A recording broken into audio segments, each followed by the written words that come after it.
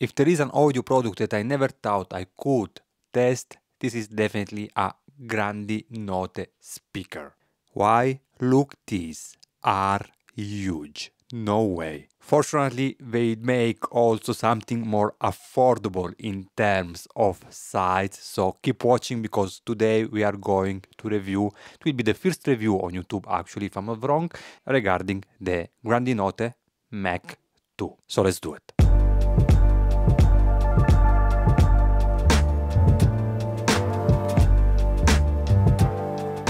The first time I met the CEO of the Grandinote was at the Milano Fidelity Show in 2021. At this time I was performing an acoustic treatment in my room and I did a couple of videos about it when my channel was still in Italian. It was a collaboration with GIK Acoustic that did my acoustic treatment.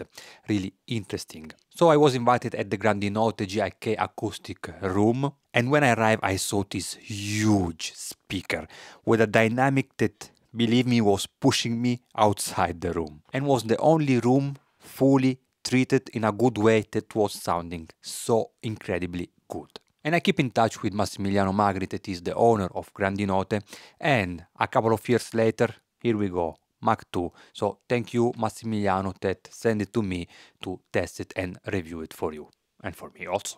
Grandinote that now has a new website in English where you can find specs and retail price. The MACH 2 is the smaller floor stand speaker of Grandinote, is available in three finishes and is coming with a retail price in Europe around 10 grand. The ultra high, stiff and robust cabinet is made of 22mm of thick MDF and you will not find B-wiring binding post as far I understood to maintain 8 ohm impedance also in the high frequency range. What I like of the MACH 2 that is coming just with three drivers, so you will not see a big array of driver. I prefer a more minimalist design. And I found that it just looks so different and beautiful, so solid, and I really like these beautiful side finishes that with this mirror effect just look amazing. Just three spikes on the ground instead four, so it will be really easy to move it, place it and do some tests because you will not need to level it all the time. The cabinet has a large downward opening where Grandinote has created an halfway system between bass reflex and transmissions line, since the sound pad is too short. A solution that Massimiliano call SRT, if I'm not wrong, semi-resonance tube, so still be able to go to play very low in the bass, sub-bass frequency, but with articulations, speed and accuracy. And it's exactly what I hear in the bottom end, but we'll speak just in a moment later in the sound quality. The 25 Silk Dome tweeter, or better to say super tweeter, cause it's cut around 13-14 kHz, is coming only with the capacitors as crossover. And that's it. I'm not joking is mounted inside a beautiful sort of horn waveguide to have less energy reflections in an untreated room. Speaking with Massimiliano, he told me that he is not a crossover lover and his philosophy is that crossover are in some way removing a sort of musicality in the speaker sound quality. And also for the woofer, same things, no crossover, with a solutions that was a mechanical damping of the membrane, a sort of treatments on the driver instead a crossover, for a natural controlled decrease in frequency response. So no crossover at all also in the woofer. Crazy.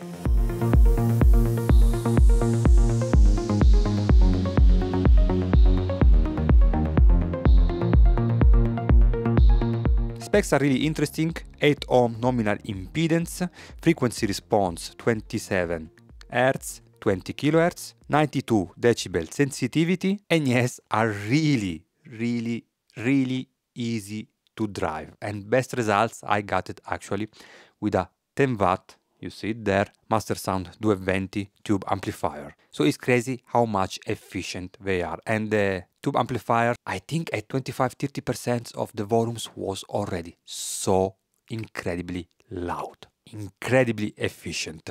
I did some measures with the UMIK One in my listening positions and EQ wizard. As always, when I do measures, I do it after my review, after to complete my review, to not be biased from it. And actually I discovered some interesting things that I would like to share it with you. In these first measures we have a left-right comparisons in room response with one third smoothing applied. So we can notice a frequency response of 30-15 kHz with a natural roll-off under 30 Hz and above 15 kHz. So a good sub-bass extensions and a beautiful roll-off in the bottom end, top end.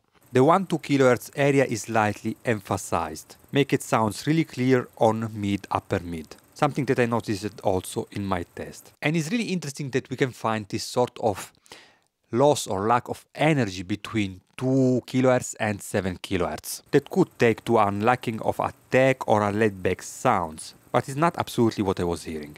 Because if you look at it in the opposite way, instead to see a lack of energy between 2 and 7 kHz, we can observe a emphasizations or a sort of V-shaped tonality between mid and treble, for a more clear mid-range and a sharp treble. That you may like it or not is a matter of taste, but is definitely tuned rather than neutral. And in the end we have a small bump on 8 kHz that could invite you in the sibilance territory, if paired with the wrong amplifications as we will see just in a moment later. So it was really interesting observe that all what I was listening in my sound test was also present in the frequency response. I was shocked. Generally, I don't rely so much on frequency response, but this times was so closer to my feelings and what I heard.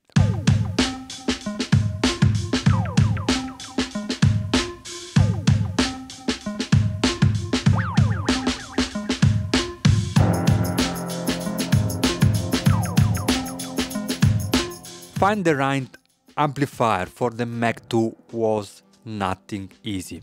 And not because they need power, they are so efficient, but because take them in the sibilance or ultra sharp treble territory is something really easy. Make it a not perfect partner for every amplifier. I could ask to Massimiliano because he's doing also really interesting amplifications with a Magneto Solid technology patented technology coming soon but I wanted to find something by myself. And the first amplifier that I tested was the M3 SE from Musical Fidelity. And I was really so impressed from the details, the explosive dynamic that made me have fun for at least one week before switch to the McIntosh MC312 power amplifier. So I keep my Cambridge Audio H&Q as streamer DAC and I moved just to the power amplifier McIntosh instead the Musical Fidelity M3 SE. I decided to do it not because I was looking for some magic but just because I wanted to test it with a more expensive amplifier. And no,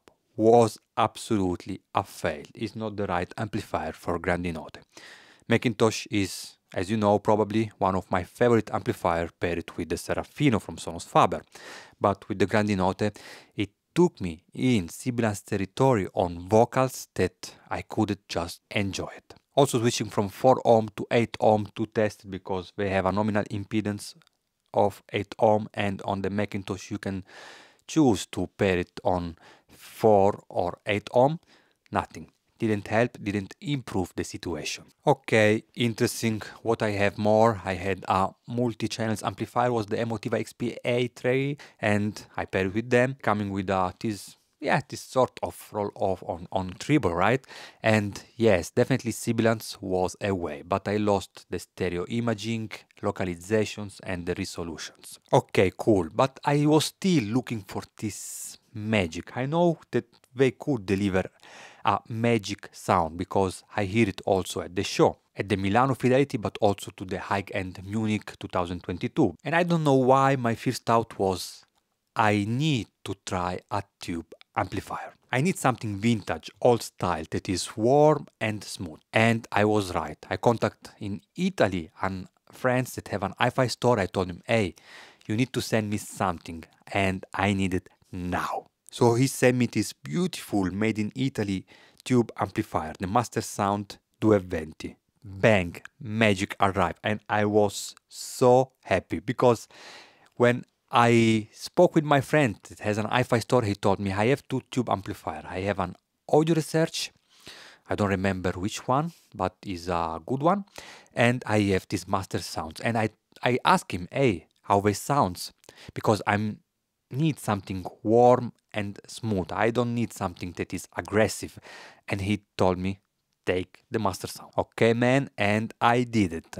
And I had to pay for it, so I was happy that it just sounds great, amazing. I did a full made in Italy system. Okay, the streamer is from England and was such a delicious experience and I turn it these, these systems every day because I really enjoy it. First because it's really different from my reference systems that was with the Serafino and the McIntosh. And second because I noticed that sometimes my ears need something different. So I don't know you but have two hi-fi systems at home if you have the possibility and switch time to times between them is something that I really like. Let me know in the comment what you think about it and if you have also two hi-fi or more hi-fi system. And now finally let's move to sound quality.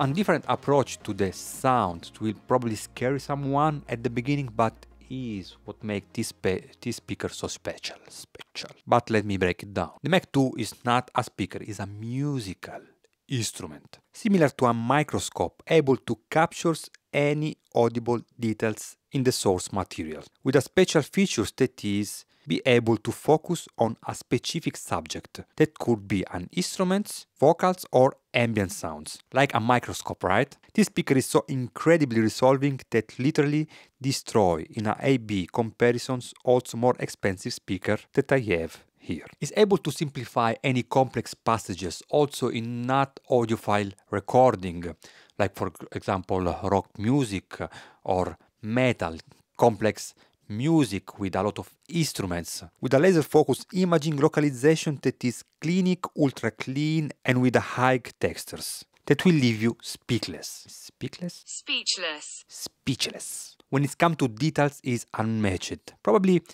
it's this, I don't know, this sort of horn loading configurations is helping to doing this, but it's really impressive. And doesn't sound honky or hollow at all, but clear, direct and never forwarded or in your face, with instruments and vocals that are holographic between the speaker in the center, with everything so solid and firm in a sort of ball of energy between the speaker ready to explode with an immersive dynamic. There is an interesting track that is called What Kind of Music of Tom Misch, where you can find a beautiful percussions intro that was delivered from the MACH 2 in such an holographic and an explosive dynamic way as never heard before. I was scared. Beautiful. Also what I really enjoyed was the attack and speed. Everything was sound so fluid in an effortless way. So if you like fast attack, articulations on percussions, piano, strings, instruments, MACH 2 is an A plus here. Back on the bottom end, sub-bass extensions is good enough to reproduce tracks, organ tracks like Wolfgang Siebert that you can find also in the sound demo test with enough authority without being never emphasized or boomy, but clean and articulated. That's why I call also this speaker room friendly, because if you have boominess problems in the bottom end, this speaker will help you to achieve a clean sound, a clean bass. It's a speaker that is prioritizing a clean and flat bass response, with probably in my opinion the most beautiful port tuning that I ever tested in a floor standing speaker. Flat, soft, slightly airy, making especially all tracks with bass drum sound really delicious and full of body. Jumping on treble also if not fully extended I didn't notice any lack of air or sparkle on cymbals for examples that were always full of uh, contrast and energetic. And as we saw, if paired with the wrong amplification, stop and cool sound a little bit sharp, but it's definitely slightly accentuated and not boring at all, make it probably a matter of taste. What surprised me is even with such a energetic trebles, the speaker was disappearing completely in my room. These speakers are invisible. But let's move to comparison because we can understand something more.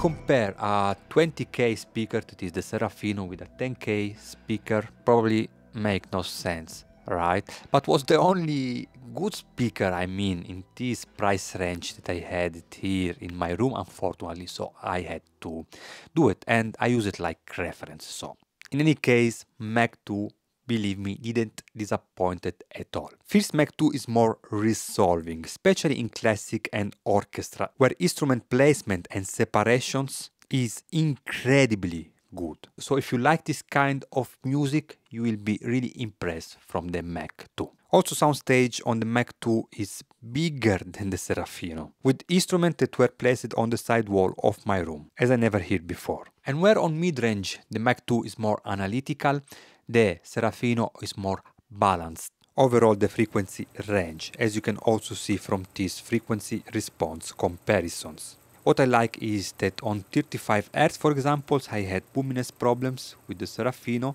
where with the MACH 2 was clean and almost in line with the mid-range. And you can notice it also in the sound test for example with the Serafino these some tracks are coming with a slightly boominess bass and the MACH 2 is more clean and articulated. Upper bass on MACH 2 on some instruments and male vocals will be not so much full of body and chest like the Serafino, but never thin or disattached. Also the MACH 2 it will take more time to really enjoy it. It has this sort of tonality that it will require at least 100 hours before to get used with the new sounds, before really understand how good it is.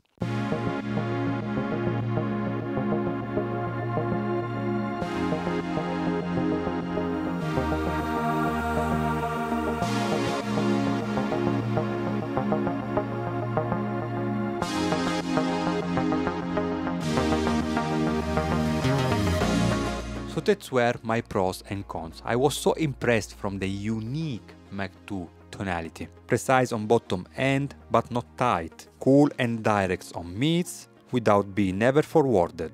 Sharp and ultra detailed, but never fatigue. And invisible. That I probably consider the MACH 2 an hungry and foolish speaker like Steve Jobs said, right? And I'm not finished, the way that this speaker is interacting with your room with reflections is just not normal. In many tracks I had the feelings to receive sounds from like in a Dolby Atmos multi-channels configurations from behind me, above me. I never experienced something like that with any other speaker. If there is a fine line between detailed high textures and sharp sound, MACH 2 play really closer to it without never cross it, giving me the most interesting speaker that I ever test until now. If you will find yourself at any hi-fi show, I really suggest to take an auditions of it and please let me know what you think about it in the comments. That's it, this was my review of the MACH 2. I hope you guys appreciate it. Subscribe to the channels to support my work and see you soon. Peace.